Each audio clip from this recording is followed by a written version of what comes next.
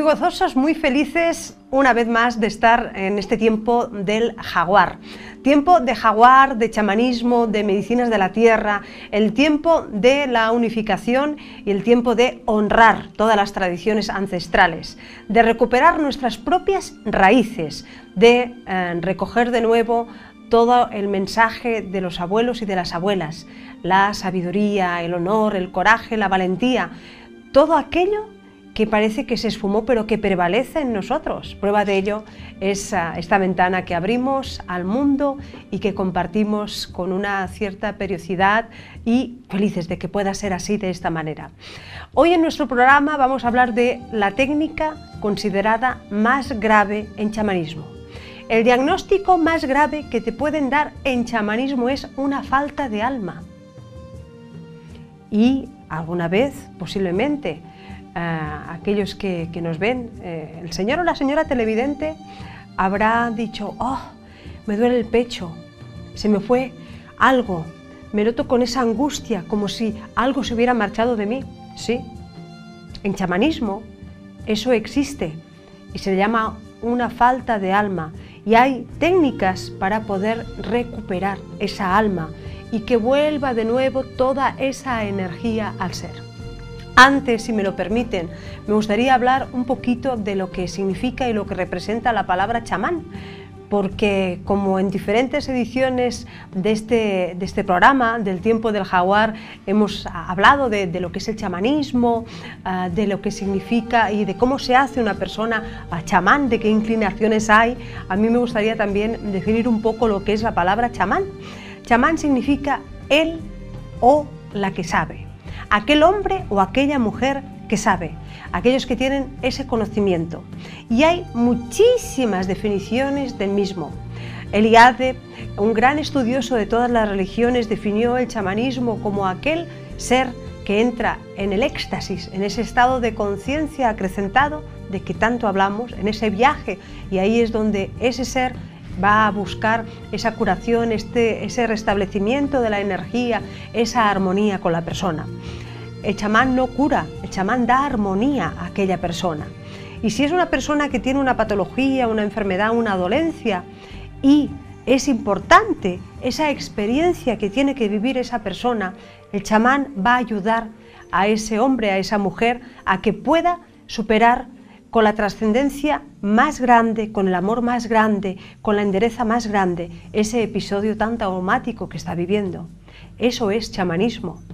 Y sobre todo el chamán, aquel hombre y aquella mujer de medicina, es profundamente respetuoso con aquellas personas que tienen que vivir la senda que les toca. En ocasiones nos hemos dado cuenta de que hay eh, factores intrusivos, personas que quieren salvar a otros, que eh, se entrometen en aquel camino de aprendizaje y de enseñanza que tiene.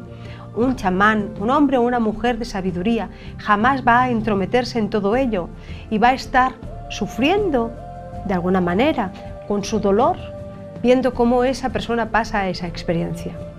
Nosotros tenemos aquí una gran adicción al sufrimiento. A mí me gusta a veces poner un ejemplo muy, muy gráfico de lo que es el sufrimiento y de lo que es el dolor.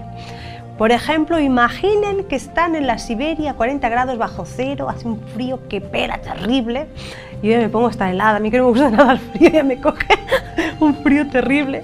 Y tienen ahí eh, la regadera, la ducha, y le dicen, ponga debajo su mano el agua no cae.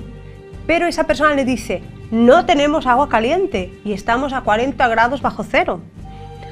Teniendo ahí debajo de la regadera de la ducha la mano, wow, aquella persona está, uy, por favor, cuando caiga el agua, mmm, tan helada, va a ser terrible. En ese momento esa persona está sufriendo, pero cuando abren el grifo, cuando acciona el grifo y cae el agua, eso es dolor. en ese momento que no cayó el agua era un sufrimiento que tenía esa persona. Pero cuando cae ahí el agua contra la mano a 40 grados bajo cero, eso es dolor.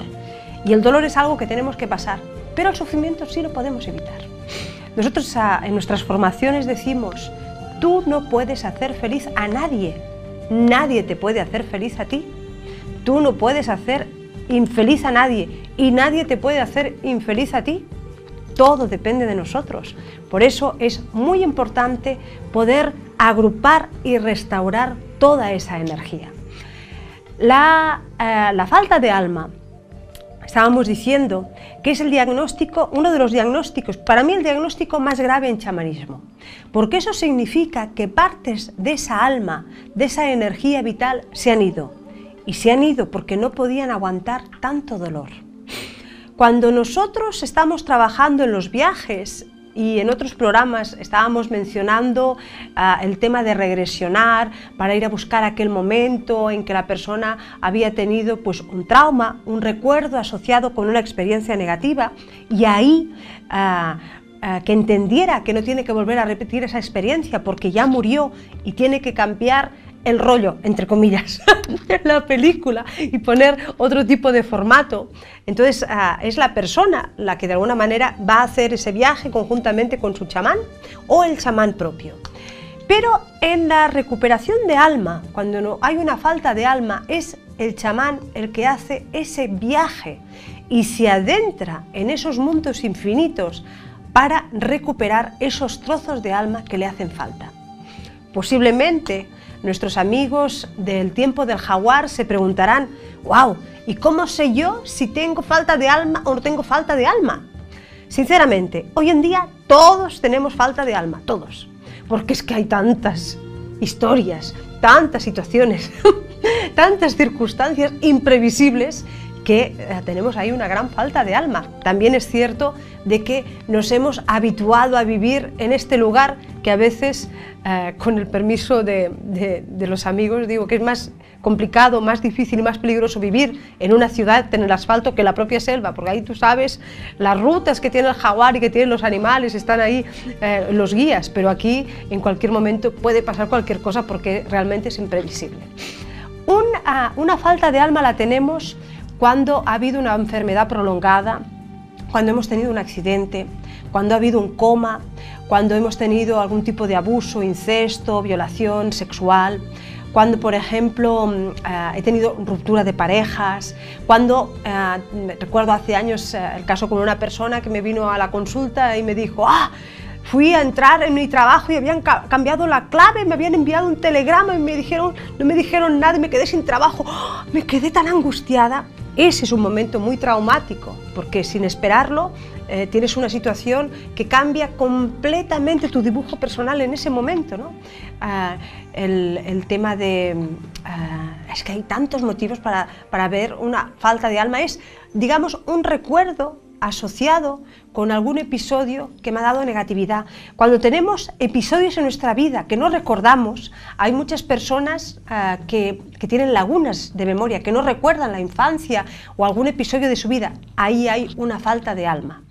Entonces, esos trozos de alma no vagan por el inconsciente, según la perspectiva chamánica, no se quedan em, en la nada, van a otra dimensión, a otro lugar, y ahí siguen viviendo.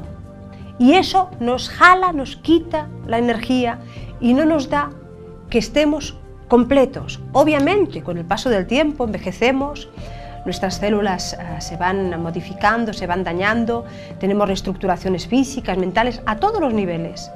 Pero ese es el paso natural de la vida. Pero a veces son esas personas de edad joven parecen viejitos. Si tú haces ahí un recorrido, posiblemente en esta vida o en vidas pasadas incluso, porque todo lo repetimos hasta que no aprendemos, aprendemos a base de desafíos y de retos, podemos ah, apreciar en su propia vida biográfica y pasada que tiene muchos episodios de falta de alma. ¿Cómo vamos a realizar ese tipo de recuperación? el chamán, el facilitador, el especialista en chamanismo va a coger su tambor que es su caballo, va a coger su sonaja y va ahí a comunicarse con ese mundo de espíritus para que lo ayuden a ir por esas dimensiones y busque aquellos trozos, aquellos pedazos que le hacen falta y ahí los vuelve a incorporar en la persona, en el cuerpo luminoso. Cuando hay, eh, por ejemplo, adultos eh, que tienen eh, episodios, como estábamos mencionando, que no recuerdan de la infancia, ahí es muy posible que haya una parte suya de ese niñito, de esa niñita, que está vagando por esos lindes en situaciones que son bastante desagradables, perdido, triste, acongojado. Y todo eso se tiene que recuperar e incorporar de nuevo en esa persona para restablecer toda su energía. Luego hay otro aspecto también muy importante que nosotros también lo contemplamos cuando hacemos los viajes para ah, ver, para poder apreciar, para que nos den la información de dónde viene esa pauta emocional, esa pauta de conducta ah, a nivel incluso físico de patología, y son promesas que tenemos incumplidas, son pautas que no hemos completado, son episodios que dejamos de hacer y que por alguna, algún misterio, alguna extraña razón no se pudieron componer completamente y que siguen ahí sacándonos muchísima energía vital y nos están jalando toda nuestra fuerza natural como ser. Volver a recuperar todo eso es muy importante. Incluso nos estamos planteando hacer algún tipo de manuscrito que trate íntegramente sobre este tema, sobre aquellas promesas que hicimos y que no cumplimos, y que después, a posteriori, nos van persiguiendo vida tras vida tras vida, hasta que llega un momento en el que tenemos más luz, en el que nos damos cuenta, en el que cogemos más conciencia, en el que de casualidad llega aquel chamán y me hace esta apreciación o escucho este programa de, televisión, a través de las redes sociales, a través de, las nuevas tecnologías y ahí yo digo, wow, es esa campanita que me resuena y me dice, igual la Hatton tiene razón y ahí tengo algo que no acabé de cumplir. Yo recuerdo que en nuestra familia de, mujeres que todas han sido espiritistas desde la tatarabuela, la mamá, la abuela, la bisabuela y la tatarabuela, ellas tenían mucha creencia en mis, las mujeres de mi linaje familiar medicinal de cumplir las promesas de Semana Santa. Esas promesas que tú haces de ir pues descalzo haciendo una penitencia o ir con los brazos en cruz para que se pudiera sanar pues, pues el hijo o algún familiar. Y la yaya eh, tenía, la, abuelita mía, tenía mucha creencia en que si no se cumplían ese tipo de promesas, te perseguían y que ese espíritu no podía descansar. Después de tiempo comprobamos que es cierto, pero no únicamente en ese, en ese episodio de capillita, de, Semana Santa, de procesiones tan hermosas que tenemos aquí en la península ibérica, en España y también en Latinoamérica, eh, tan, tan vivenciales, con tanta fuerza, con tanto amor ¿no? y con tanta fe, que la fe mueve montañas, no únicamente en ese tipo de episodios, sino en cualquier otro. Algo que yo dejo por concluir me persigue y tiene tanta o más fuerza que una maldición. De hecho, eso son maldiciones. Cuando yo le prometí a aquella persona de que lo ayudaría y de que yo, por ejemplo, pagaría la renta de su casa, el alquiler de su casa, y llegó el momento y yo me hice el loco, me hice la loca, me hice el despistado y jamás ayudé a esa persona, aparte de no cumplir esa promesa, entré con ese, con ese individuo en un conflicto.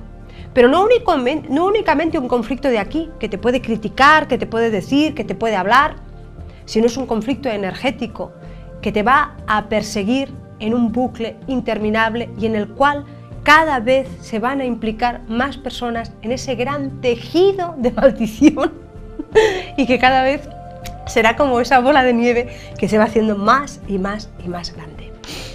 Cuando tú no sabes y no tienes conciencia y no te diste cuenta, no te diste cuenta, porque eso ocurre.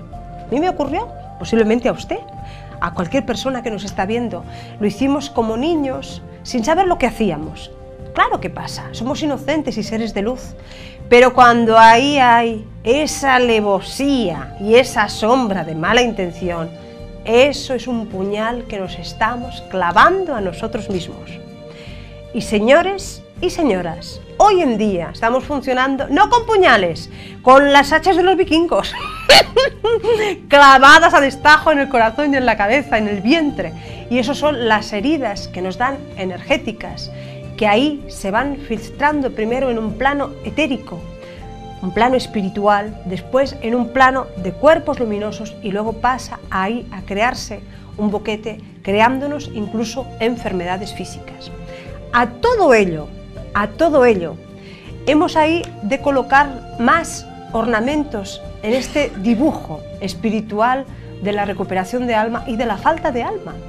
Porque cuando no solventamos este tipo de situaciones, ahí también se ven cada vez implicadas más personas y es donde entran las futuras generaciones que seguirán persiguiendo, eh, perdón, seguirán perseguidas por todo ese tipo de inercia. Recuerdo perfectamente las palabras de un nativo hace años, cuando yo estaba señalando y que me dijo, Ana, cuando tú señalas hacia afuera, hay cuatro dedos que te señalan a ti. ¡Wow! ¡Qué gran verdad!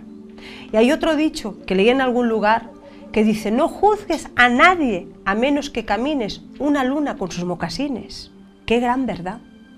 Porque en todas estas vidas que tenemos, todos tan diferentes pero tan iguales, en estas maneras que tenemos de entender las circunstancias que nos tocan, no podemos nunca ni juzgar, ni criticar, ni maldecir a nadie, porque hasta que no nos ponemos en la piel de esa persona realmente no sabemos. A veces las circunstancias externas dan una apariencia de algo, pero las circunstancias reales son muy diferentes. Y en este sentido yo tengo que abogar una lanza de luz a favor de tantísimas personas en tantos años que han venido a la consulta y que han sido auténticos maestros, mis auténticos maestros. Agradezco a cada uno de ellos por enseñarme esta gran manera de ver la vida, que es ni más ni menos con un sentido común.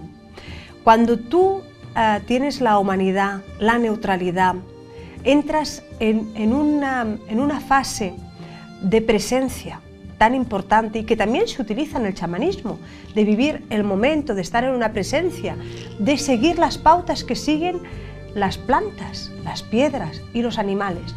Sinceramente, yo no me imagino un jaguar, allí por Pucallpa, por ejemplo, por Ucayali, que esté pensando si, ay, sí podré comer, si no podré comer, ay, encontraré agua, no encontraré agua, ay, a ver si la jaguar hembra me ha puesto los cuernos con el otro, me ha tirado los tarros, hoy el jaguar por allí que ruge el otro, voy a ver si ahora me quita la casa. Ellos saben perfectamente, son maestros de la permanencia y saben perfectamente que la tierra los va a abastecer con todo el alimento, que la tierra posee el agua y que los va a abastecer para poderse nutrir de esa sustancia saben perfectamente que le corresponde como compañero, como compañera de fatigas, de camada, de tribu, a aquellos que, que tiene a su lado. Y no comen nada que no tengan que comer, no como nosotros los humanos, que en algunas zonas del planeta hacemos tanto exceso de ello. Y en cambio hay otras zonas del planeta que tienen tanta falta de ello.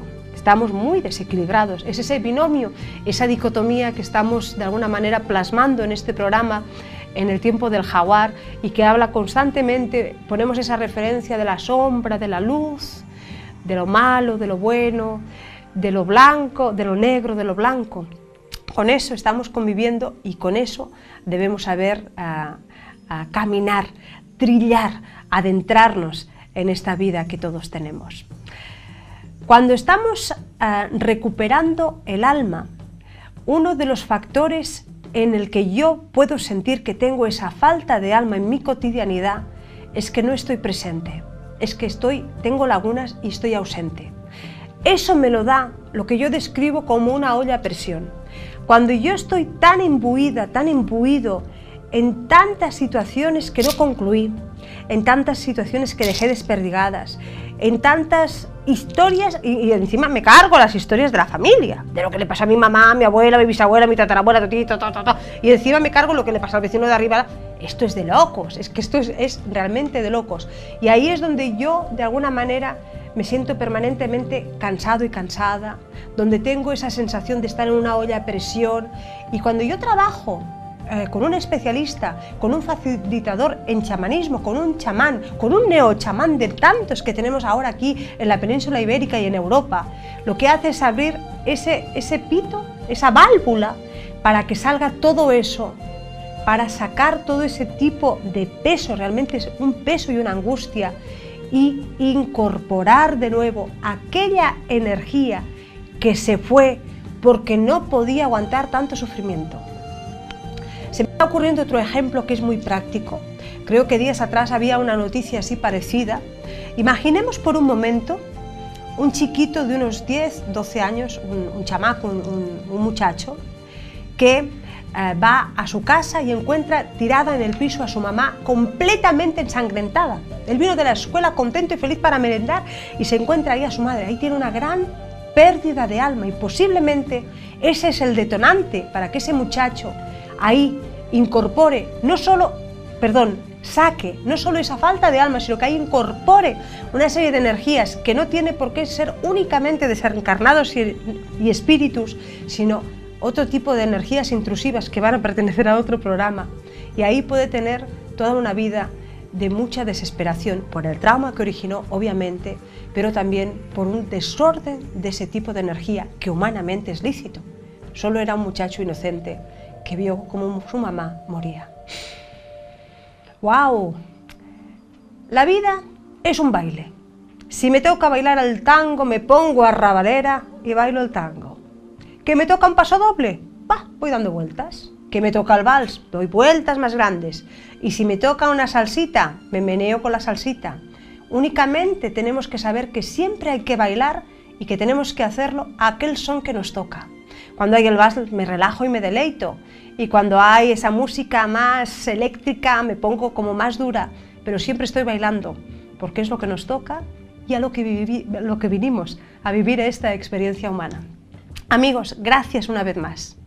Es un honor y un privilegio poder tener esta plataforma y poder compartir con todos ustedes este tiempo del jaguar. Gracias a tantos amigos que están detrás y que hacen posible todo ello, a Julián, a Javier, a Lanita, a tantísima gente, a José, a David, a tantísimas personas y sobre todo a ustedes. Escriban preguntándonos sobre temas, sobre inquietudes, info arroba a la página web chamanismoparatodos.com, a su servicio y a su disposición. Muchísimas gracias, Mita Koye Oyasen, Ajo.